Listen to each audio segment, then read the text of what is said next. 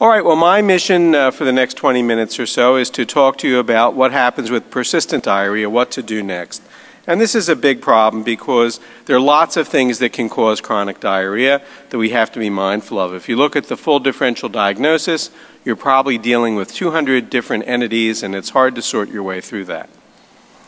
Uh, one of the things I want to point out to you is this recent uh, World Congress of Gastroenterology Working Party report that the ACG sponsored at uh, last year's World Congress in Shanghai, and we had the opportunity to have uh, some wonderful contributors uh, to this, uh, and I think it's uh, sort of the state of the art as it exists right now in dealing with the diagnosis of chronic diarrhea. So that's available as an open access article, and please avail yourself of it. Well, let's talk a little bit about the definition of chronic diarrhea. Remember, this is uh, one of those uh, conditions where we have to listen to what our patients are telling us. Patients tend to define diarrhea as passage of loose stools, increased stool frequency, or urgency of defecation. They may not mean the same thing that you mean when you think about diarrhea. So find out what they mean. Are they having loose stools? Are they having more frequent stools? Are they having urgent defecation or incontinence? Sometimes People will identify incontinence as being diarrhea, and they may be passing solid stool. So find out what they, they mean. Physicians should note precisely what the patient means by diarrhea, and again, differentiate it from fecal incontinence. We arbitrarily look at chronic diarrhea as existing when symptoms are present for more than four years. The reason is that that's a boundary that pretty much excludes most acute infectious diseases. So once you get beyond four weeks, the chance of it being an infectious diarrhea goes down tremendously, and we have to think of some of the other causes of chronic diarrhea. The most important thing that we do as physicians is to create a differential diagnosis, and that's true for chronic diarrhea as well. You need to sit down with the patient, think about their comorbid symptoms and epidemiologic clues that Mark just mentioned. Uh, use the Rome criteria to sort out the people with IBS. Remember, if you have IBS, pain must be present. We no longer recognize painless diarrhea as IBS. The pain typically increases before a bowel movement and decreases after a bowel movement. The onset of the pain is associated with a change in stool consistency or frequency. If someone meets all those criteria, there's a 90% chance that they have IBS. That's better than any diagnostic test you can do, and so it's reasonable based on that history to treat them for IBS and see how they do. If they don't respond, then you're in the situation where you need to look at the diagnosis again. Now, again, make sure that the pain is there and that the pain fits these characteristics. If it doesn't, if it's just some vague discomfort, doesn't really change with bowel movements, uh, if they have no pain, you need to think about something else, and you should not label these people as having IBS. Everybody I see with chronic diarrhea at one point or another has been labeled as having IBS, and most of them don't have it. So make sure you get the right history before you apply that label. The other point is one that uh, Mark made very uh, cleverly, is take a good dietary intake history.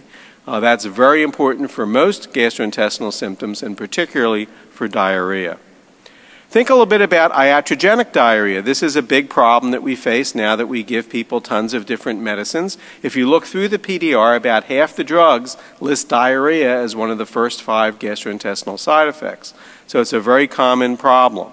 So look over their drug list carefully. Think about surgeries they've had. Even something as innocuous as a cholecystectomy may be the cause of diarrhea, and it may happen years after the surgery. Certainly, if someone's had bowel surgery or resection or surgery in their anus or rectum, they're all things that can affect bowel habit, and you need to take that into account. And the other one is therapeutic radiation.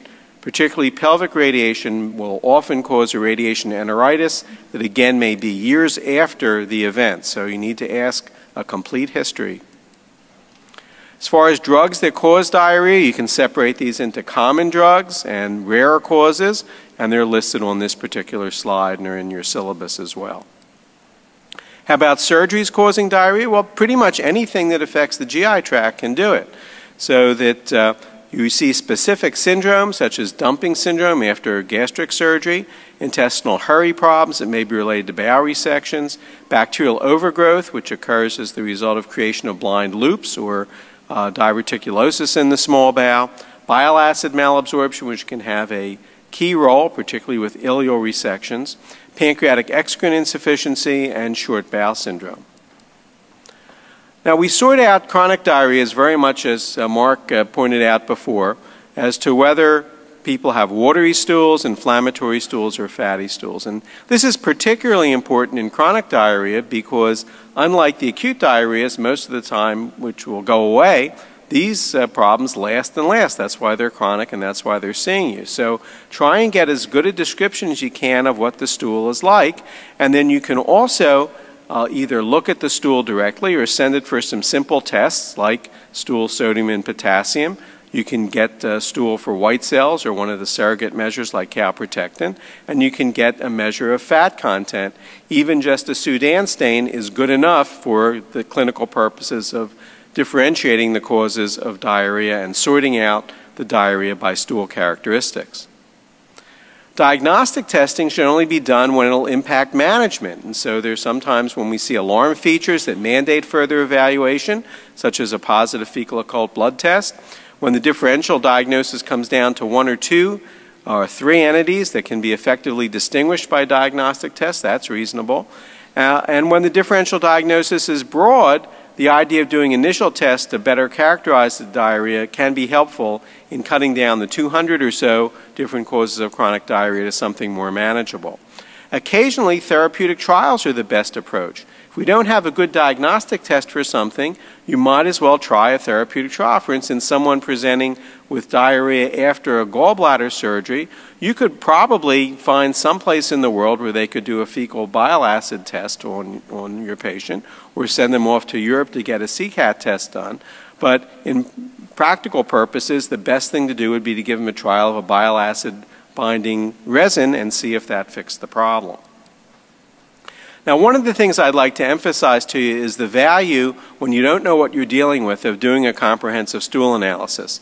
And this is based on work that uh, Dr. John Fordtran has done over the last 40 years in dealing with chronic diarrhea. And when someone comes down to Dallas with chronic diarrhea, we almost always end up doing one of these analyses. So we look at things like stool weight, for the reasons that Mark said. You can get an idea of whether it's a low volume diarrhea or a high volume diarrhea. Stool fat content, you can find out if they have steatorrhea, which would be a marker of malabsorption. Stool electrolytes to better characterize osmotic and secretory diarrhea. Sometimes stool minerals to look uh, for their laxative effects. Stool lactoferrin or calprotectin to look for inflammatory diarrhea. Reducing substances, which are a marker of carbohydrate malabsorption, at least for some carbohydrates stool osmolality that can detect people who are watering their stools and have factitious diarrhea, and then laxative screening. So we subject people to these different studies and can come up with different groups of patients depending on what the results are. Now this shows you the fecal osmotic gap in a visual form, uh, as Mark showed you before. If you think about secretory diarrhea, most of the osmotic space in the stool is going to be taken up by electrolytes because the problem with secretory diarrhea is malabsorption of electrolytes. On the other hand, if you have an osmotic diarrhea, the measured electrolytes are low, and you have all these unmeasured osmoles, which are whatever you're eating that you can't absorb and digest. So, uh, for instance, if you were having a problem with uh, taking magnesium, this space would be taken up by magnesium and the other ions that came along with it. So this again shows you the calculation for the fecal osmotic gap. I remind you not to use the uh, uh, measured stool osmolality for this. Uh, stool osmolality increases rapidly once the stool is removed from the body because the bacteria that are alive in your stool keep digesting whatever fiber and carbohydrate are there and generate osmoles. Inside the body, the osmolality is the same as it is in blood, which is typically about 290, and that's why that number is used. For osmotic diarrheas, we have low electrolyte concentrations, so there's a high gap. Secretory diarrhea, high electrolyte concentrations, therefore a low gap. Now, the other aspects of stool analysis, we look at uh, steatorrhea, when stool excretion exceeds 7 grams for 24 hours. But the upper limit of normal really depends in part on stool weight. You can drive that up to about 14 grams per 24 hours if you give people laxatives. So, to some extent, people with high volume diarrheas may have a little bit more stool fat. If it's above 14 grams, they definitely have steatorrhea. If they have lower volumes, say under 400 grams of stool per day, then 7 grams is not an unreasonable uh, cutoff. Remember, the average stool fat is only about 2 grams. We do a very good job at absorbing fat.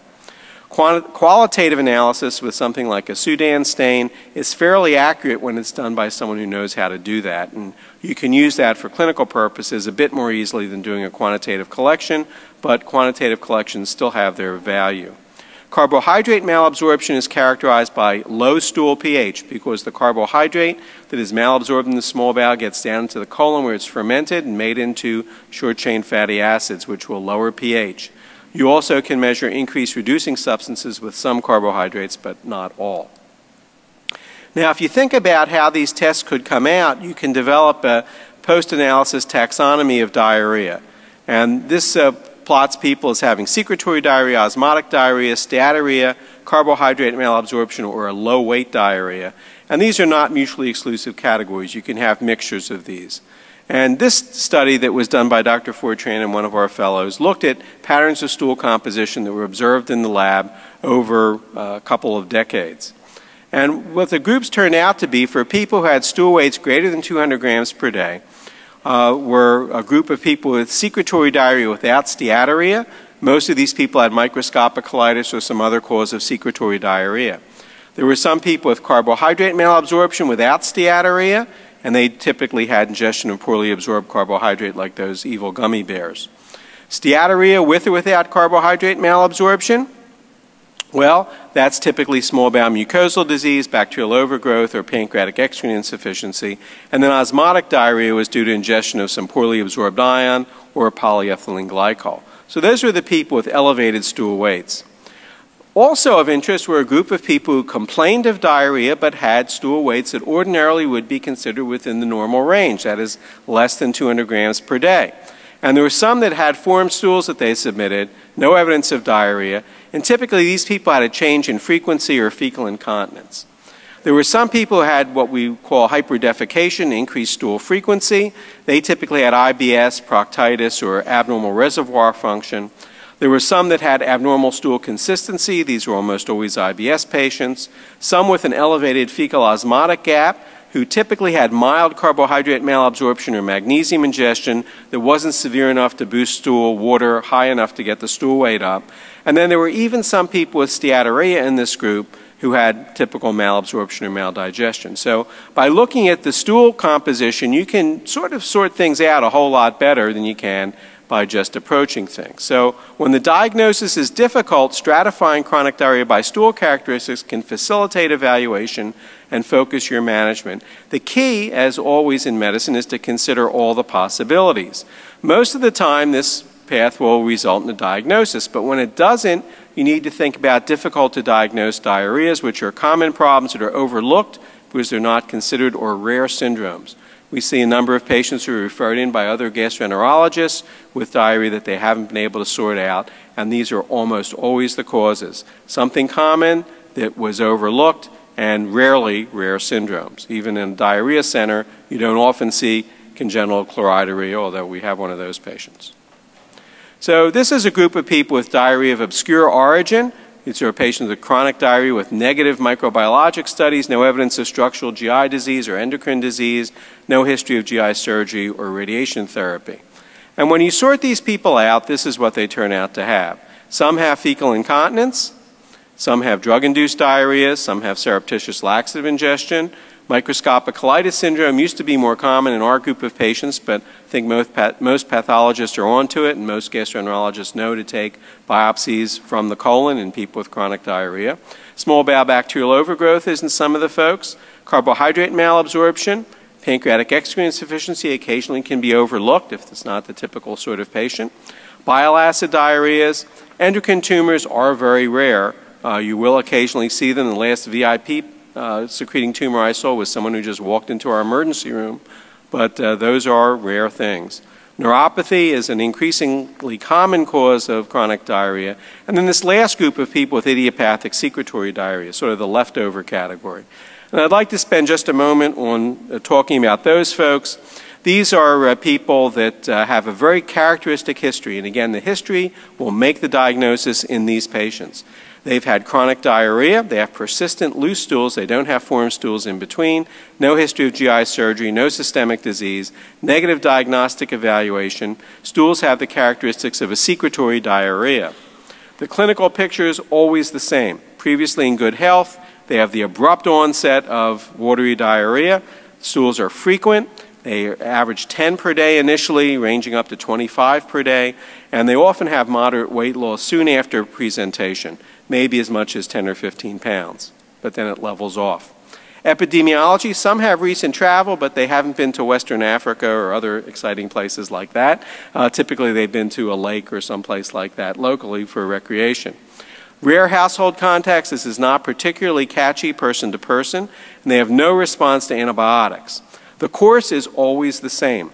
Uh, there's spontaneous complete resolution in all, but it's a gradual offset. The mean duration of the disease is 15 months, so a year and a quarter, and it ranges up to almost three years for these people, and they don't have recurrences. So they have something that happens acutely, they put up with it for a while, and it goes away. My guess is that this is some sort of infection, but we've never been able to identify what it might be.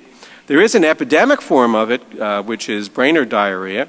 It has a similar history to the episodic cases, but it occurs in outbreaks, and it's usually associated with common water, milk, or food exposure, which again suggests an infectious disease. However, there's little secondary transmission. It's not as though one person in the family gets it and everybody else gets it, like typical gastroenteritis has a similar time course as the episodic cases. We actually had an outbreak in a little town uh, north of uh, Dallas uh, that uh, you know had all the hallmarks of a, a little epidemic. Uh, we actually had the CDC come in and evaluate the people during the epidemic, so they did all the fancy biological tests that they could, and they couldn't find the agent, although all the people shared exposure to a particular restaurant that on the uh, salad bar, in addition to the usual things, happened to have some rat feces as one of the uh, little uh, options for your salad. So uh, it's, uh, it's a kind of thing that uh, seems to be an infectious problem, but we don't know what the germ is or even what the germ might be.